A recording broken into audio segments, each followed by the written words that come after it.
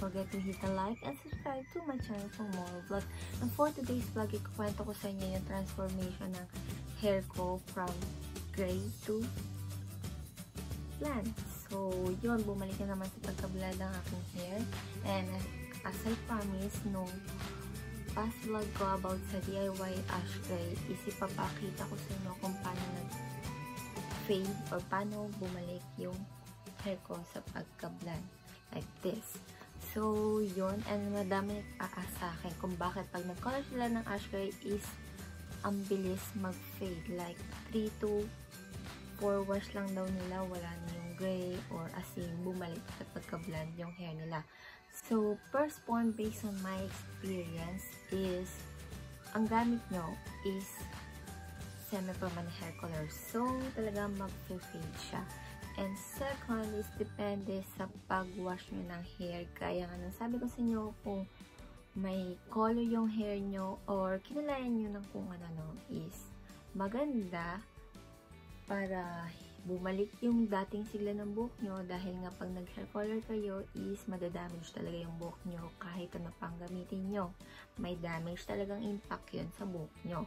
So, dapat pag may hair color na kayo, hindi kayo nagwa-wash ng hair every day. So, yun. So, yun yung isang tip para mabawasan or mapabagal yung pag-fade ng hair color nyo kung ash gray man yan or kahit anong color. And third is for me, based on my experience, bukod tanging gray na semi-permanent hair color is sobra talagang ang bilis na mag-fade. Siguro depende na lang yun kung anong brand yung gamit nyo. Like in my case nga, ang gamit ko is yung brand Nador.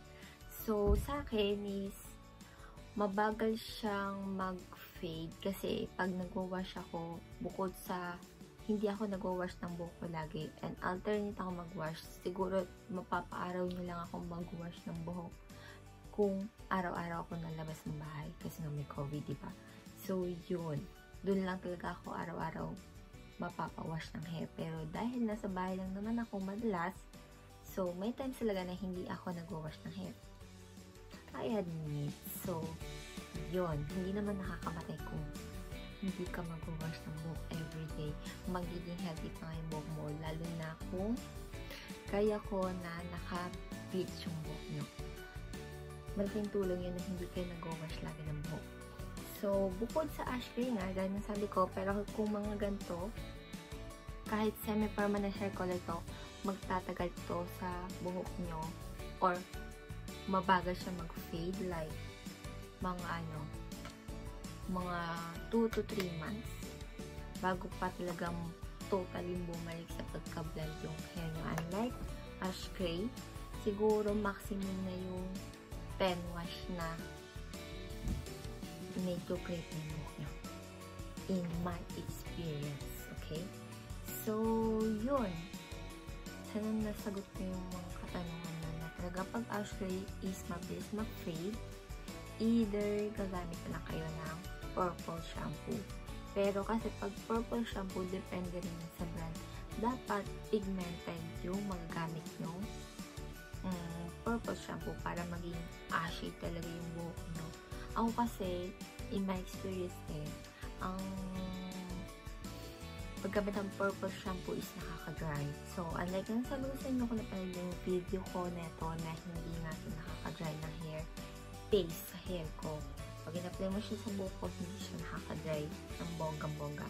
Unlike yung mga gray or hair color na semi-permanent or ano pang hair color yan na nilalagyan ng solution. Ito, hindi mo na kailangan lagyan ng solution. Gaya nga ng sabi ko, pwede niya pang i-mix ng hair treatment to pag in-apply niya sa buhok nyo. Oh, ha? So, yun. Itong video na to is all about sa ash gray, kung paano kabilis siya mag-fade and kung ilang wash bago talaga siya totally mawala. Based on my experience, nawawala na talaga yung pagka-gray niya after ng excuse me after ng 10 wash for me mga 10 wash talaga as in hindi na talaga siya gray Pero, like ang sabi ko sa inyo, ang kinagandahan lang pag nag-gray kayo, nag-titanium hair color kayo, is dadaan siya sa point na may pagka-whitish. Like this. Sa totoong buhay, hindi talaga siya sobrang blonde. May pagka-whitish talaga siya. Na ano lang kasi sa ilaw. So, yun. Yun yung kagu... Ay, ayun yung gusto ko sa pag-gray ko ng buhok. Like, siguro mga 10 wash is parang ashy yung color ng hair ko. So, yun lang. Then, hindi ko kailangan mag-purple shampoo lagi. And, dahil hindi nga ako malas na mabas, is napapanatili ko or napapatagal ko yung pagstay niya sa buhok ko. So, may tanong ako sa inyo guys because pala ko ulit mag-color ng buhok. Of course. So, either ito bang gagamitin ko, cotton candy, or aquamarine, or the new color na meron ako. This one, intense red. Hindi ko pa natatry mag-red. Kaya yon Just comment down below kung ano yung gusto nyong hair color ko next. Or pwede naman natin gawing rainbow. Diba? So, for that next video is makita nyo yung transformation ng buhok ko kung paano siya nag-fade. So, let's go! So, makikita nyo sa picture na to, yan yung first wash ng buhok ko after ko mag-color ng ash gray.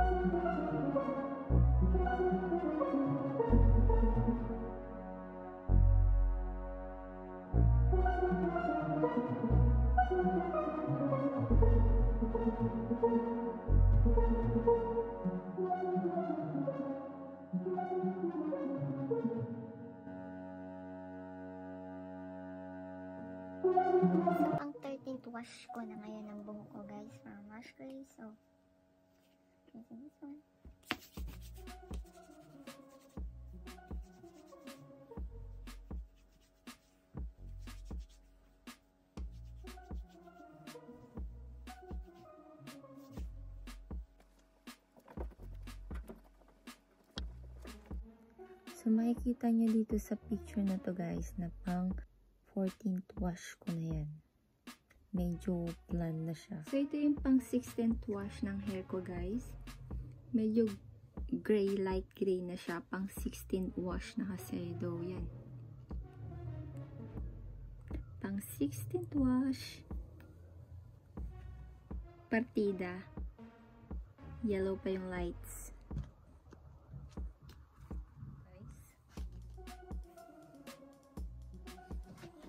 Yellow kasi yung ilaw, so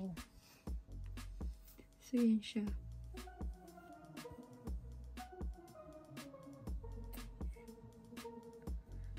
See guys.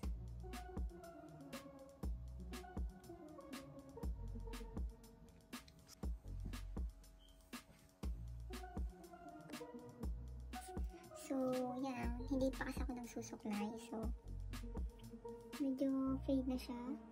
Wala pa kasing supply. So, yun. Tsaka matutulog na mi. Kaya hindi talaga ako nagsusuklay. So, see you next wash.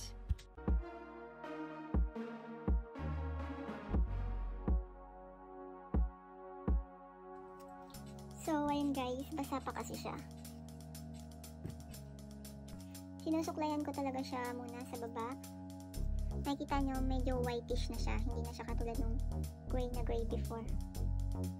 Na dark gray. Medyo light na siya. Sa kabila na ang ilaw ko nga dito sa room is kulay yellow. Pinakita ko sa inyo kulay yellow yung ilaw ng ilaw ko. Yellow. So, yan. Sa baba muna ako nagsusuklay. Basa pa kasi.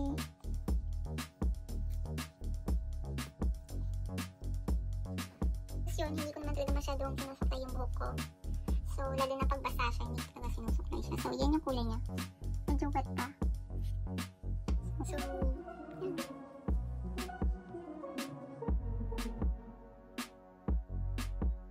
White siya.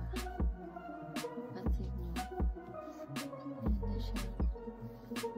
Yellow pa yung lights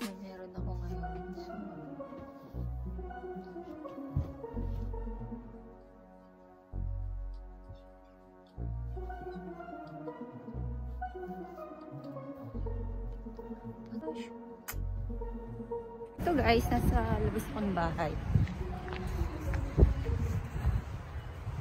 So, yun siya. Medyo bumabalik na siya sa pagka-bland.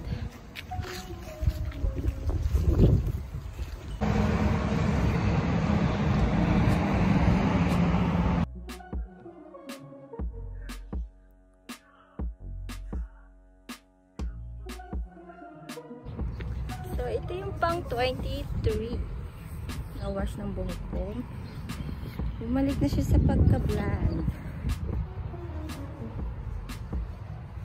So, ayan. So, ito yung pang 23 wash ng hair ko, guys. Medyo white blonde. White blonde. Right? Yan. So, yan siya, guys. Whitish na blonde. Ayan siya. Pang 23 wash.